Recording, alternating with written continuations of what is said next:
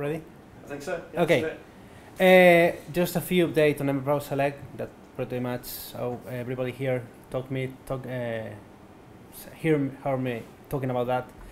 Uh, I think I implemented the last, the ultimate feature. I mean the one, the last one I'm going to implement ever on the component.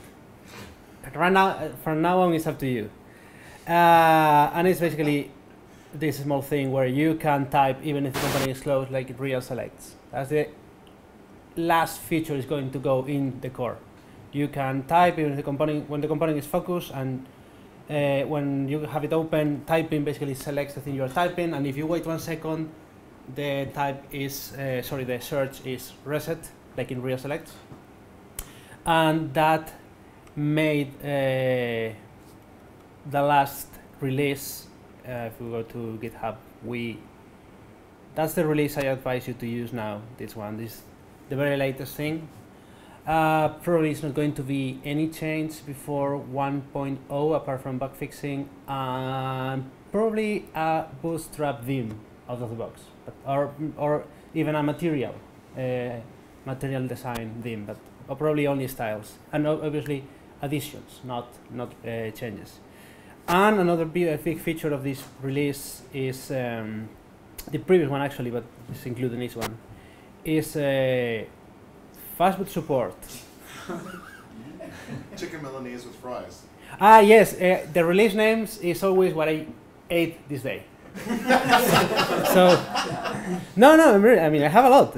I will check. What are you gonna That's do? smart. Coming up with names for releases is the hardest part. No, no, it's, I, it's like very, it's very important. People uh, probably over. I mean, this I don't know. It's I don't know. Pork ribs. Hey. Uh, I don't know. Uh, I have more, I guess. Kim. Not bad. Well, going back to the topic. Um, we have, uh, sorry, releases again. We have uh, now fastboot support and accessibility.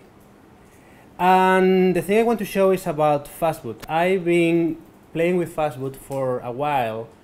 I thought it was still in very early days, but after using using it for a while, it happens to work pretty well. I mean, everything I tried worked, and if something break, it's because something was not prepared to, to for fastboot because I was I was using jQuery, jQuery maybe or something like that, which obviously doesn't work when there is no DOM. In, uh, so uh, basically, I don't, I'm not going to try to install things from npm again.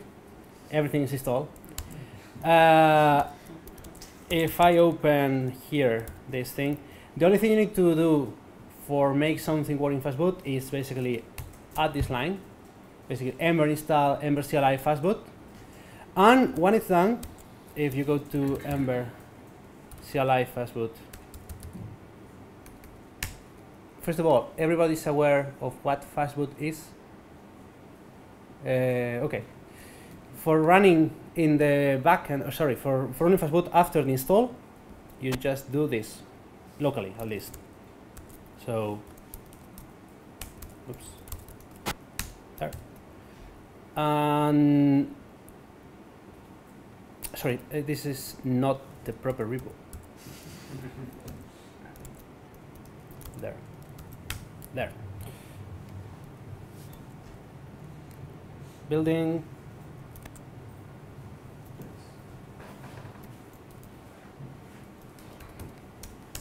happens to run 3000 it's running.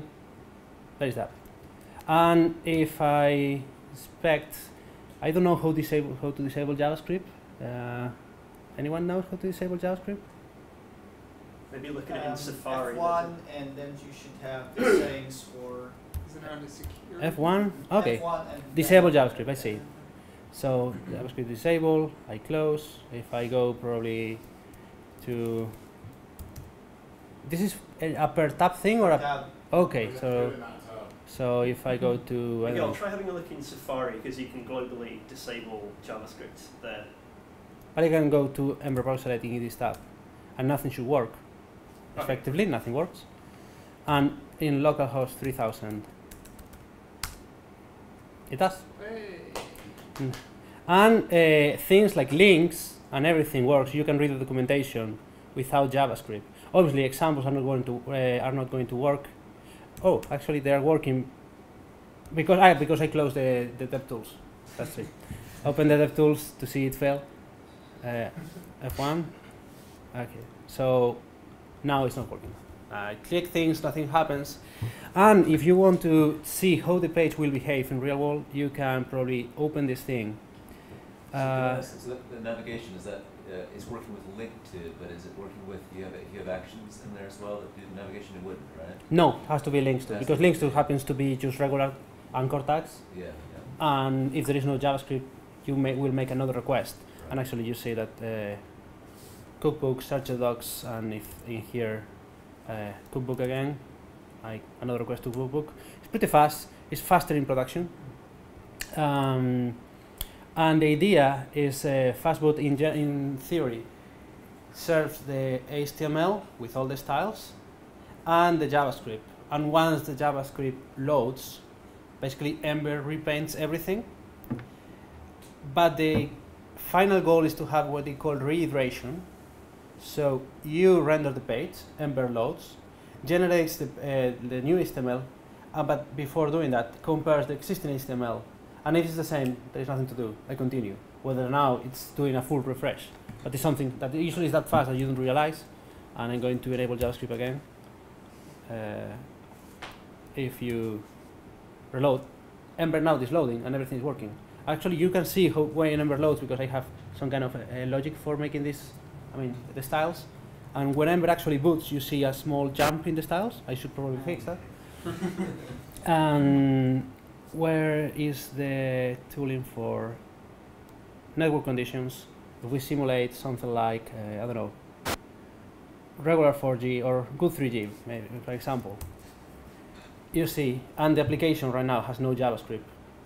But once this thing start stops spinning, uh, the application is usable. But now, even if this thing hasn't finished, I can open and, and navigate because it's going to work. So especially important for mobile. And another thing I want to show, this is pretty much everything I have on Fastboot.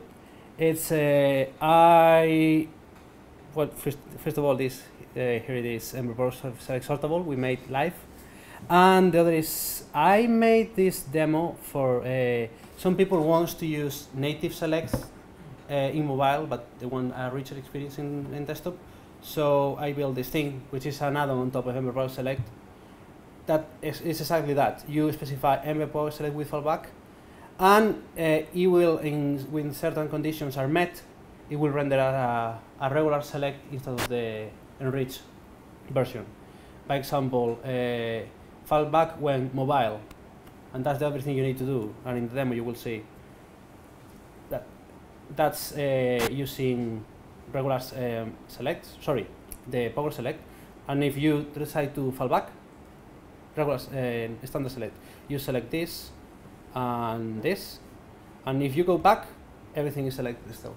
I mean, you are exactly wrapping the same. I mean, the interface is the same, but depending on some condition, it renders a regular select or the power select, and that can vary between iOS, Android, phone. You can detect if there is a screen reader, perhaps, because you want to have the best accessibility. Even if I implemented accessibility, nothing is going to be better than a plain select. And actually, since not all usages of Ember Power Select can be translated into uh, standard selects, basically this implements a few naive uh, uh, assertions that only run in development. So if you are trying to or to use this component and you are passing, by example, a custom search function, there is no such a thing as a custom search function that you can trigger from a select. So that is going to warn you, caution, this is something you cannot translate. Uh, try something else. Or I mean, if you insist, it's going to continue. At the moment, it's not a hard failure, but you need to be aware that it's probably not going to work very well in in in in, in plain select mode. Um, that's pretty much it. Ah no, I have another one. Uh, sorry, about uh, fastboot still. The problem with fastboot I found is not fastboot itself, it's wor- working very well. Is uh, how do we test fastboot? There is no literature, there is nothing, in, pretty much nothing in the web I found. So talking with Robert Jackson, Tom Dale, and everything, I started spiking something that is going probably to be the way we test fastboot. And as you will see, probably fastboot tests are going to live in a different folder. And that's the thing I created called model for fastboot. It's uh, something that will, uh, once, uh, once used, will resemble the same thing we use for uh, regular testing.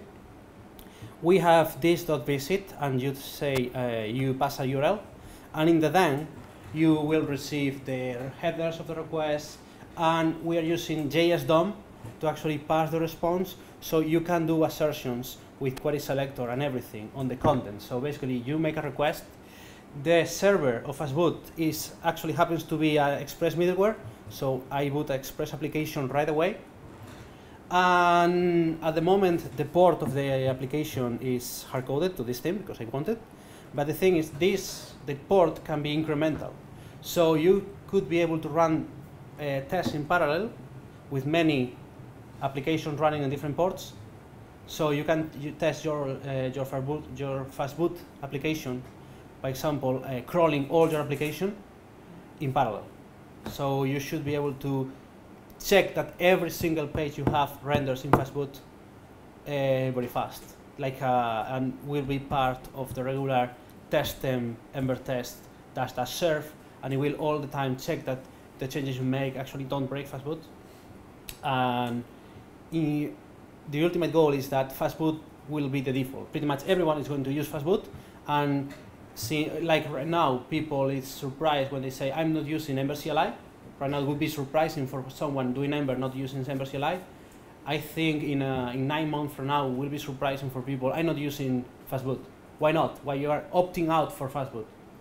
It will be so easy to, to use that uh, pretty much everybody is going to, to do it. As soon as you install fastboot, probably when do, you do uh, you use the the blueprints to generate a route, will generate the route, the test, and the fastboot test for this route, and everything will be. And the fastboot test basically, in even the very basic thing will be request and see that at least you get a 200 OK for the for the backend, and that's the that's everything. Thank you.